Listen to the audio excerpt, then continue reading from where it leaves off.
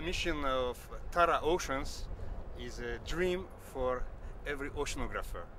And uh, I hope that this dream will come true.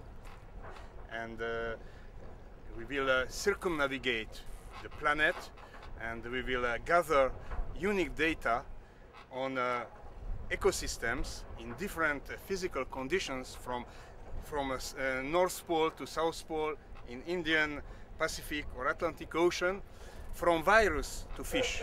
And this is uh, quite unique uh, because uh, we will be able to extrapolate uh, the production of matter, the export of matter, what will come back to atmosphere.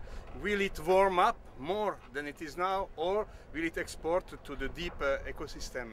And uh, then we will have also of course interaction with uh, all our colleagues for all around the world. Tara i hope so will become a worldwide expedition a worldwide uh, occasion to understand better the oceans. The working day you know hard day's night. It will be a hard day.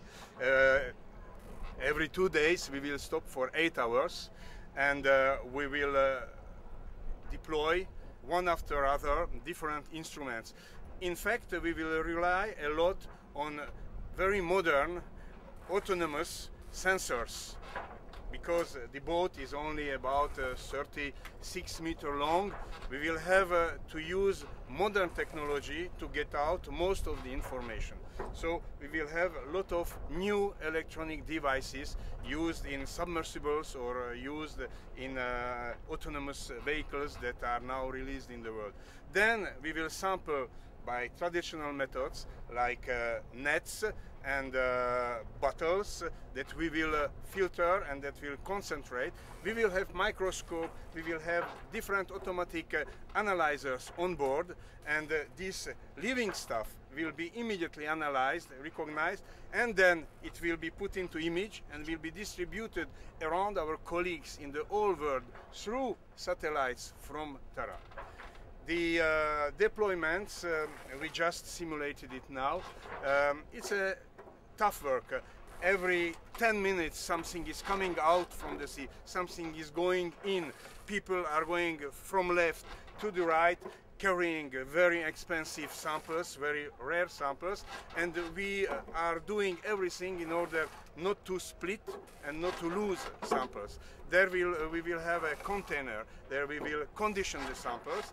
One part of the samples will be uh, uh, left behind for other generation, for the next generations, because new technologies will arise, but these new technologies will never find the state of the seed as we will find it now. So we will keep one part of samples for future generation. This will be a heritage of Tara and uh, we will also work in real time and transmit data and information in real time and have this contact with all these scientists from around the world on real time basis and uh, these eight hours will be followed then by at least eight hours of sample preparation of sample or data uh, treatment and uh, uh, data connection with other laboratories to know how what is composed from what is composed an ecosystem, as I told you, from virus to fish in different regions of the ocean is essential,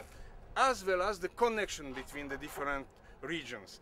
Uh, for example, uh, people can say, what is a region in the wide ocean? The ocean itself is a region. No, because you have the wind system, which is blowing according to the circulation of the Earth in steady directions, and uh, different regions are turning on, them, on themselves. So they are isolating inside of the sea the specific region. And this isolation um, allow rising specific ecosystems. And then on the edges of these systems, the uh, dynamic is very strong. The currents are strong because it is like uh, in, in, in, a, in a ball, at the periphery of the ball, if you are turning it, the current is stronger. The same thing in the eddies, the, the periphery, the, the current is stronger.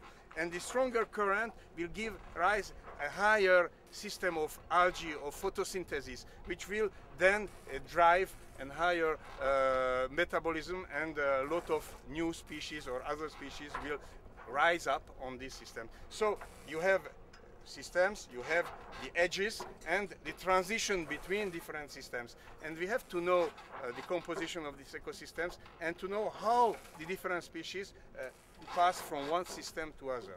For example, now we are speaking about global warming. What we saw in Atlantic, Northern Atlantic, that this warming of even one degree Celsius of the superficial ocean allow to species from warmer seas to invade the uh, northern seas. And then it is, has a very strong uh, implication on, on, fishery, for example.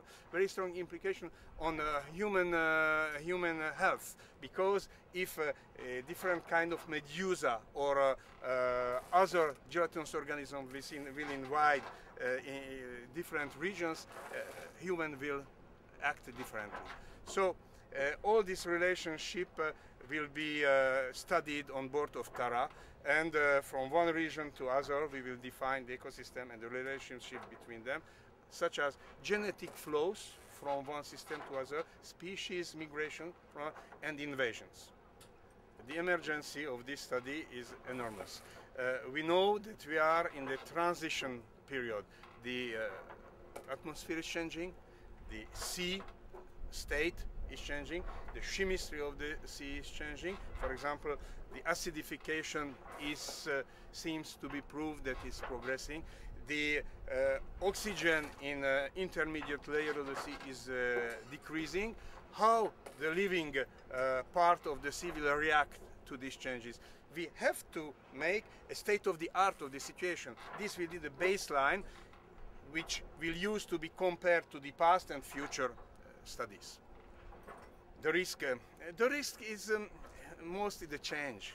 And uh, when uh, things change, the human has to um, adapt to it. But sometimes it's very difficult. When in uh, Norway, for example, the uh, fish disappeared from the northern parts, uh, villages will abandon. Uh, uh, what are doing people who abandon their villages has to find other places to live. So will there be migrations because the uh, ecosystem will change, because the atmosphere will change, because the desertification will progress? Yes, there will be change. How human will adapt to it with all this demographic pressure? Will they be worse or not?